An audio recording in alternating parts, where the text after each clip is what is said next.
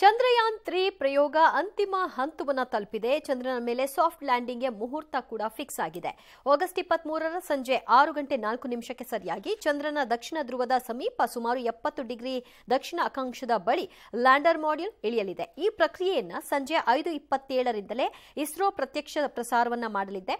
ಈ ಕ್ಷಣಕ್ಕಾಗಿ ಭಾರತ ಮಾತ್ರವಲ್ಲ, ಇಡೀ ಜಗತ್ತೇ ಕಾಯ್ತಾ ಇದೆ. ಈ ಮಧ್ಯೆ ಎರಡನೇ ಮತ್ತು ಕೊನೆಯ ಡಿಬೂಸ್ಟಿಂಗ್ ಅಂದ್ರೆ ವೇಗ ಕಡಿತಗೊಳಿಸುವಂತಹ ಪ್ರಕ್ರಿಯೆಯನ್ನು ಇಸ್ರೋ ಯಶಸ್ವಿಯಾಗಿ ಮಾಡ್ಮುಗಿಸಿದೆ ಸದ್ಯ ವಿಕ್ರಮ್ ಲ್ಯಾಂಡರ್ನ ಚಂದ್ರನಿಂದ ಕನಿಷ್ಠ ಇಪ್ಪತ್ತೈದು ಕಿಲೋಮೀಟರ್, ಗರಿಷ್ಠ ನೂರ ಮೂವತ್ನಾಲ್ಕು ಕಿಲೋಮೀಟರ್ ದೂರದ ಕಕ್ಷೆಯಲ್ಲಿ ಪರಿಭ್ರಮಿಸ್ತಾ ಇದೆ. ಇನ್ನು ವಿಕ್ರಮ್ ಲ್ಯಾಂಡರ್ನ ವೇಗವನ್ನ ಇನ್ನಷ್ಟು ತಗ್ಗಿಸಿ ಚಂದ್ರನ ದಕ್ಷಿಣ ಧ್ರುವದಲ್ಲಿ ಸಾಫ್ಟ್ ಲ್ಯಾಂಡಿಂಗ್ ಮಾಡಿಸುವ ಪ್ರಕ್ರಿಯೆ ಅಷ್ಟೇ ಬಾಕಿ ಉಳಿದಿದೆ. ಈ ಬಗ್ಗೆ ಇಸ್ರೋ ವಿಜ್ಞಾನಿಗಳು ಹೆಚ್ಚು ಗಮನ ಹರಿಸ್ತಾ ಇದ್ದಾರೆ. ಸದ್ಯ ಲ್ಯಾಂಡರ್ ಮಾಡ್ಯೂಲ್ ಸುರಕ್ಷಿತವಾಗಿದೆ, ಆರೋಗ್ಯವಾಗಿದೆ. ಚಂದ್ರನ ದಕ್ಷಿಣ ಧ್ರುವದಲ್ಲಿ ಆಯ್ಕೆ ಮಾಡಿಕೊಳ್ಳಲಾದ ಲ್ಯಾಂಡಿಂಗ್ ಸ್ಥಳದಲ್ಲಿ ಸೂರ್ಯೋದಯಕ್ಕಾಗಿ ವಿಜ್ಞಾನಿಗಳು ಎದುರು ನೋಡ್ತಿದ್ದಾರೆ. ಎಲ್ಲ ಸರಿ ಹೋಗಿದ್ದಿದ್ರೆ ಚಂದಮಾಮ ದಕ್ಷಿಣ ಧ್ರುವದಲ್ಲಿ ಇಳಿಯಲು ರಷ್ಯಾ ಪ್ರಯೋಗಿಸಿದ ಲೂನಾ ಟ್ವೆಂಟಿ ಫೈವ್ ಲ್ಯಾಂಡರ್ ನಾಳೆ ಚಂದ್ರನ ಮೇಲ್ಮೈ ಮೇಲೆ ಲ್ಯಾಂಡ್ ಆಗಬೇಕಾಗಿತ್ತು. ಆದರೆ ದುರಾದೃಷ್ಟವಶಾತ್ ಯೋಜನೆಯ ಅಂತಿಮ ಹಂತದಲ್ಲಿ ರಷ್ಯಾದ ಗಗನನೌಕೆ ನಿರ್ದೇಶಿತ ಚಂದ್ರನ ಕಕ್ಷೆ ಸೇರುವಲ್ಲಿ ವಿಫಲವಾಗಿದೆ. ಲ್ಯಾಂಡ್ ಆಗುವ ಮುನ್ನ ಪ್ರೀ ಲ್ಯಾಂಡಿಂಗ್ ಕಕ್ಷೆ ಪ್ರವೇಶಿಸುವ ಸಂದರ್ಭದಲ್ಲಿ ನಿಯಂತ್ರಣ ತಪ್ಪಿ ಚಂದ್ರನ ಮೇಲೆ ಅಪ್ಪಳಿಸಿದೆ. ಅನಿಯಂತ್ರಿತ ಕಕ್ಷೆಯಲ್ಲಿ ಪರಿಭ್ರಮಣ ಮಾಡಿದ ನಂತರ ಅದು ಚಂದ್ರನ ಮೇಲ್ಮೈ ಮೇಲೆ ಅಪ್ಪಳಿಸಿದೆ. ಲೂನಾ ಲ್ಯಾಂಡರ್ನಲ್ಲಿರುವ ಆಟೋಮ್ಯಾಟಿಕ್ ಸ್ಟೇಷನ್ ನಿಯಂತ್ರಣ ವ್ಯವಸ್ಥೆ ವಿಫಲವಾಗಿದೆ ಅಂತ ರೋಸ್ಕಾಸ್ಮಸ್ ತಿಳಿಸಿದ ಕೆಲವೇ ಗಂಟೆಗಳಲ್ಲಿ ಈ ಬೆಳವಣಿಗೆ ಆಗಿದೆ ಈ ಮೂಲಕ ರಷ್ಯಾದ ನಲವತ್ತೇಳು ವರ್ಷಗಳ ಕನಸು ನುಚ್ಚು ನೂರಾಗಿದ್ದು, ರಷ್ಯಾದ ವಿಜ್ಞಾನಿಗಳು ಕಣ್ಣೀರಿಟ್ಟಿದ್ದಾರೆ. ಈ ತಿಂಗಳ ಹನ್ನೊಂದರಂದು ಲೂನಾ ಟ್ವೆಂಟಿ ಫೈವ್ ಪ್ರಯೋಗ ನಡೆದಿತ್ತು. ಡಿಆರ್ಡಿಒ ಅಭಿವೃದ್ಧಿಪಡಿಸಿದ್ದ ಡ್ರೋನ್ ತಪಸ್ ಪತನವಾದ ಘಟನೆ ಹಿರಿಯೂರು ತಾಲೂಕಿನ ವದ್ದಿಕೆರೆ ಬಳಿಯ ಹೊಲದಲ್ಲಿ ನಡೆದಿದೆ. ಚಳ್ಳಕೆರೆಯ ಕುದಾಪುರ ಬಳಿ ಇರುವ ಡಿಆರ್ಡಿಒ ಕೇಂದ್ರದಲ್ಲಿ ಡ್ರೋನ್ ಮಾದರಿಯ ಚಾಲಕರಹಿತ ವಿಮಾನ ತಪಸ್ಸನ್ನ ಇಂದು ಬೆಳಗ್ಗೆ ಪರೀಕ್ಷಿಸುವ ವೇಳೆ ತಾಂತ್ರಿಕ ಲೋಪದಿಂದ ಈ ದುರ್ಘಟನೆ ಸಂಭವಿಸಿದೆ. ತಪಸ್ ಪತನವಾದ ಸ್ಥಳ ಜಮೀನಾದ ಕಾರಣ ಸಾವು ನೋವು ಸಂಭವಿಸಿಲ್ಲ.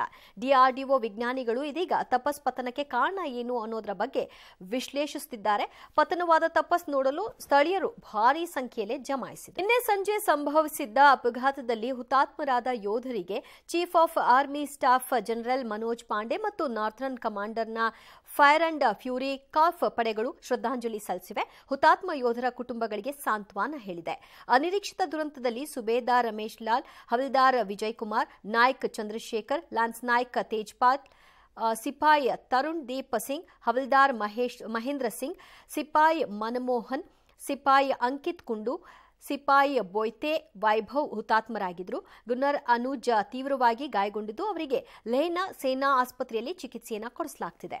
ಲಡಾಖ್ನಲ್ಲಿನ ಭಾರತದ ಭೂಭಾಗವನ್ನ ಚೀನಾ ನುಂಗಿದೆ ಅಂತ ರಾಹುಲ್ ಗಾಂಧಿ ಆರೋಪ ಮಾಡ್ತಾ ಇದ್ದಾರೆ. ಚೀನಾ ಸೇನೆ ಭಾರತ ಭೂಭಾಗವನ್ನು ಅಕ್ರಮವಾಗಿ ಪ್ರವೇಶಿಸಿದೆ. ಸ್ಥಳೀಯರು ಬಳಸ್ತಾ ಇದ್ದ ಭೂಮಿಯನ್ನ ಕಿತ್ಕೊಂಡಿದೆ. ಆದರೆ ಪ್ರಧಾನಿ ಮೋದಿ ಮಾತ್ರ ಇದನ್ನ ಮುಚ್ಚಿಡ್ತಾ ಇದ್ದಾರೆ ಅಂತ ಕಿಡಿಕಾರಿದ್ದಾರೆ. ಈ ಮಧ್ಯೆ ಲಡಾಖ್ನಿಂದ ಪಾಂಗಾಂಗ್ ಸರೋ ಸರೋವರದವರೆಗೂ ರಾಹುಲ್ ಗಾಂಧಿ ಬೈಕ್ ರೈಡ್ ಅನ್ನ ಮಾಡಿದ್ರು. ಇದಕ್ಕೆ ಕೇಂದ್ರ ಮಂತ್ರಿ ಕಿರಣ್ ರಿಜಿಜು ವ್ಯಂಗ್ಯವಾಗಿ ಧನ್ಯವಾದಗಳನ್ನ ತಿಳಿಸಿದ್ದಾರೆ. ಕೇಂದ್ರ ನಿರ್ಮಿಸಿದ ಹೈವೇಯನ್ನ ಪ್ರಮೋಟ್ ಮಾಡಿದ್ದಕ್ಕೆ ಥ್ಯಾಂಕ್ಸ್ ಅಂತ ಕಾಲೆಳೆದಿದ್ದಾರೆ ಕನ್ನಡ ಸಿನಿಮಾಗಳಲ್ಲಿ ಅವಕಾಶ ಸಿಗದಿದ್ದಾಗ ನಟ ಯಶ್ ನನ್ನ ಬಳಿ ಕಣ್ಣೀರಿಟ್ಟಿದ್ರು, ನಾನೇ ಊಟ ಕೊಡಿಸಿ ಸಮಾಧಾನ ಮಾಡಿದೆ ಅಂತ ಮೊನ್ನೆಯಷ್ಟೇ ತೆಲುಗು, ತಮಿಳು ನಟ ಜೈ ಆಕಾಶ್ ಹೇಳ್ಕೊಂಡಿದ್ರು. ಇದಕ್ಕೆ ಸೋಷಿಯಲ್ ಮೀಡಿಯಾದಲ್ಲಿ ಭಾರಿ ಆಕ್ರೋಶ ವ್ಯಕ್ತವಾಯಿತು. ಈ ಬೆನ್ನಲ್ಲೇ ತಮ್ಮ ಹೇಳಿಕೆಯಿಂದ ವಾಪಸ್ ಬಂದಿದ್ದಾರೆ. ಯಶ್ ಬಗೆಗಿನ ಹೇಳಿಕೆಯಿಂದ ಅಭಿಮಾನಿಗಳಿಗೆ ನೋವು, ನೋವಾಗಿದ್ರೆ ಕ್ಷಮೆ ಯಾಚಿಸ್ತೀನಿ. ಜಂಬದ ಹುಡುಗಿ ಸಿನಿಮಾದಲ್ಲಿ ನಟ ಯಶ್ ಅಣ್ಣನ ಪಾತ್ರದಲ್ಲಿ ಜೈ ಆಕಾಶ್ ನಟಿಸಿದ್ರು. ಮತ್ತೆ ದತ್ತಪೀಠ ವಿವಾದ ಮುನ್ನೆಲೆಗೆ ಬಂತು. ಚಿಕ್ಕಮಗಳೂರಿನ ದತ್ತಪೀಠಕ್ಕೆ ಬಿಜೆಪಿ ಸರ್ಕಾರ ನೇಮಿಸಿದ ದತ್ತಪೀಠ ಆಡಳಿತ ವ್ಯವಸ್ಥಾಪನಾ ಸಮಿತಿಯನ್ನ ವಜಾ ಮಾಡಬೇಕು ಅಂತ ಸೈಯದ್ ಹುಸೇನ್ ಶಾ ಖಾದ್ರಿ ಸಿದ್ದರಾಮಯ್ಯಗೆ ಪತ್ರವನ್ನ ಬರೆದಿದ್ದಾರೆ. ದತ್ತಪೀಠ ಆಡಳಿತ ವ್ಯವಸ್ಥಾಪನಾ ಸಮಿತಿ ಕ್ರಮಬದ್ಧವಾಗಿಲ್ಲ ಅನ್ನೋದು ಅವರ ಒಂದು ಮನವಿ. ಈ ಮಧ್ಯೆ ದತ್ತಪೀಠವನ್ನ ಸಂಪೂರ್ಣವಾಗಿ ಹಿಂದೂಗಳಿಗೆ ಒಪ್ಪಿಸಬೇಕು. ದತ್ತಪೀಠದಲ್ಲಿನ ಗೋರಿಗಳನ್ನ ನಾಗೇನಹಳ್ಳಿಗೆ ಸ್ಥಳಾಂತರ ಮಾಡಬೇಕು ಅಂತ ಹಿಂದೂ ಸಂಘಟನೆಗಳು ಆಗ್ರಹಿಸಿವೆ. ಇಂದು ರಾಜೀವ್ ಗಾಂಧಿ ಅವರ ಜಯಂತಿ, ದೆಹಲಿಯಲ್ಲಿರುವ ರಾಜೀವ್ ಗಾಂಧಿಗೆ ಸೋನಿಯಾ ಗಾಂಧಿ, ಮಲ್ಲಿಕಾರ್ಜುನ ಖರ್ಗೆ ಸೇರಿ ಹಲವರು ಪುಷ್ಪನಮನ ಸಲ್ಲಿಸಿದರು. ಲೆಹ್ನಾ ಪ್ಯಾಂಗಾಂಗ್ ಸರೋವರದಲ್ಲಿ ದಿವಂಗತ ತಂದೆಯನ್ನ ರಾಹುಲ್ ಗಾಂಧಿ ಸ್ಮರಿಸಿದರು. ಇತ್ತ ಬೆಂಗಳೂರಿನಲ್ಲಿ ರಾಜೀವ್ ಗಾಂಧಿ ಮತ್ತು ದೇವರಾಜ ಅರಸು ಜಯಂತಿಯನ್ನ ಕಾಂಗ್ರೆಸ್ಸಿಗರು ಆಚರಿಸಿದರು. ಕಾಗೋಡು ತಿಮ್ಮಪ್ಪಗೆ ದೇವರಾಜ ಅರಸು ಪ್ರಶಸ್ತಿ ಪ್ರದಾನ ಮಾಡಲಾಯಿತು. ವಿಧಾನಸೌಧದ ಆವರಣದಲ್ಲಿ ಅರಸು ನೆಚ್ಚಿನ ಬೆನ್ಸ್ ಕಾರ್ನಲ್ಲಿ ಸಿಎಂ ಸಿದ್ದರಾಮಯ್ಯ ಒಂದು ರೌಂಡ್ ಹಾಕಿದರು. ಸರ್ಕಾರಿ ಬಸ್ ಚಲಿಸುತ್ತಿರುವಾಗಲೇ ಹಿಂಬದಿಯ ಚಕ್ರ ಕಳಚಿ ಬಿದ್ದ ಭಯಾನಕ ಘಟನೆ ಗದಗ ತಾಲೂಕಿನ ಹೊಂಬಳ ಬಳಿ ನಡೆದಿದೆ. ಗದಗ್ನಿಂದ ನರಗುಂದಕ್ಕೆ ತೆರಳುತ್ತಾ ಇದ್ದ ಬಸ್ನ ಹಿಂಬದಿಯ ಡಬಲ್ ಚಕ್ರದ ಪೈಕಿ ಒಂದು ಚಕ್ರ ದಿಢೀರಂತ ಕಳಚಿತು. ಆದರೂ ಕೆಲ ಮೀಟರ್ ದೂರ ಹಾಗೆ ಚಲಿಸಿದೆ. ಸ್ವಲ್ಪ ದೂರದಲ್ಲೇ ಹೋದ್ಮೇಲೆ ಆಗಿರುವಂತಹ ಅನಾಹುತದ ಅರಿವಾಗಿದೆ ಚಾಲಕನಿಗೆ. ನಂತರ ಬಸ್ಸನ್ನ ನಿಲ್ಲಿಸಿದ್ದಾರೆ ಅದೃಷ್ಟವಶಾತ್ ಯಾರಿಗೂ ಏನೂ ಆಗಿಲ್ಲ.